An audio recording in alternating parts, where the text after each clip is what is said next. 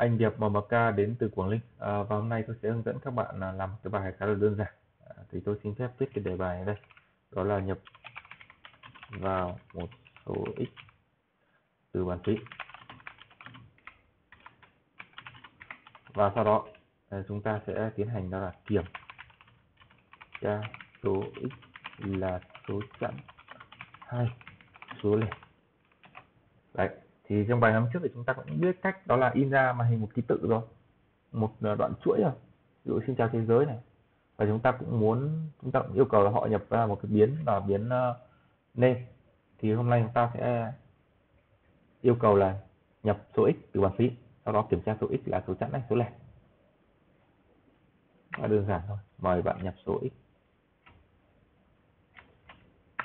Frame không ngắt dòng nha các bạn nhé mời bạn nhập số x. Thì chúng ta mới in ra cái message đấy thôi. Thì bây giờ chúng ta sẽ khai báo cái scanner st và yêu cầu nhập từ bàn phím thì st chúng ta chấm next đi. Chúng ta thấy rất nhiều các loại lệch thì tôi thử xem là có lệch ilt không. Tôi cần nhập một số nguyên. Số nguyên thì là integer. Chấm phải. Thì ở đây nó sẽ báo lỗi. Chúng ta sẽ khai báo rằng biến biến integer int x với số x là được nhập giá trị từ bàn phím. Bây giờ tôi sẽ in ra số x ra màn hình. Click chuột phải, chúng ta run. Thì đề bài chúng ta đơn giản thôi, nhập vào số x từ bàn phím, một số thôi. Ờ, số này là số nguyên, nguyên dương. Và kiểm tra số x là số chẵn hay số lẻ. Giờ tôi sẽ yêu cầu nhập số x nhé, nhập rồi số 8 enter, thì nó in ra màn hình và cho chúng ta là số 8 bây giờ chúng ta sẽ kiểm tra là số chẵn số lẻ, các bạn chú ý như sau. Để kiểm tra số chẵn số lẻ, chúng ta sẽ chia lấy dư. Phép chia lấy dư trong lập trình thì chúng ta sẽ sử dụng phần trăm. Để chúng ta phần trăm cho hai. Tức là chia lấy dư cho hai. Giả sử trong trường hợp 8 chia cho 2 thì sẽ bằng bao nhiêu chia thường ạ. 8 chia cho 2 thì sẽ được bằng 4 chấm 0 đấy, bằng 4 thôi ta có hiểu là phần dư là chấm không. Thì phần dư ở đây là không. Thì suy ra. Số dư mà bằng không ấy, thì là số chẵn. Một trường hợp ngược lại, đó là hai chia cho khi lấy dư cho hai, thì sẽ bằng bao nhiêu? Một. Một chấm không thì phần dư sẽ là bao nhiêu? Là không.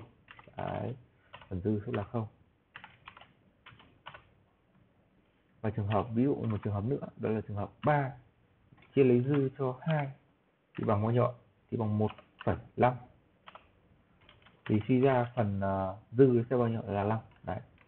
Thì chúng ta sẽ kiểm tra ít nếu như mà chia số x nhập vào mà chia lấy dư cho 2 mà có mà có giá trị là bằng không ấy, thì đấy là số chẵn.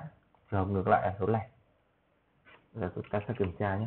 Tôi sẽ đặt ít x số x nhập từ bàn phím. Chúng ta chia lấy dư cho 2 và bằng với việc 0 thì đây là số chẵn. Còn trường hợp ngược lại là số lẻ. Thì à, phép bằng ở trong lập trình ấy, lập trình Java nó gọi là phép gán.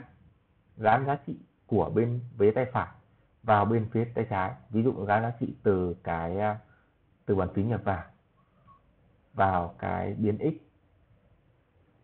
phải sang trái thì ở đây để mà so sánh bằng chúng ta không thể sử dụng phép gán này được.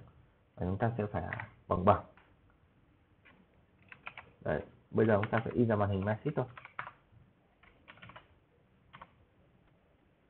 X là số chẵn. Là số chẵn. Ta có bằng d, ta nhân dòng. X là số lẻ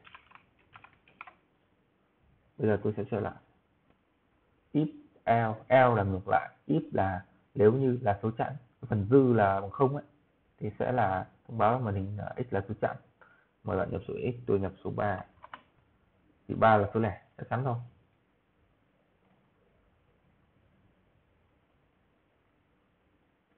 Ờ, tôi sẽ nhập số 2 đi. Thì hai đương nhiên là một số chẵn rồi. Nhập ờ, số 6 đương nhiên 6 là một số chẵn rồi. Đó thì trong bài ngày hôm nay à, cũng kết thúc ở đây thôi. Tuy nhiên tôi muốn hướng dẫn các bạn đó là sử dụng scanner để nhập một số nguyên dương bằng hàm đó là hàm let in. Nếu mà các bạn muốn nhập một, một cái string ấy thì các bạn sẽ là next line. Ở đây tôi sử dụng next next tôi sử dụng let in để lấy dữ liệu số nguyên dương từ bàn phím. Tôi in số nguyên dương đó ra và sau đó tôi sử dụng là câu lệnh điều kiện ít tôi kiểm tra. Nếu mà chia lấy dư cho hai mà có cái đuôi dư bằng không thì là số chẵn ngược lại là số lẻ à, xin chào các bạn hẹn gặp lại các bạn trong các video sau.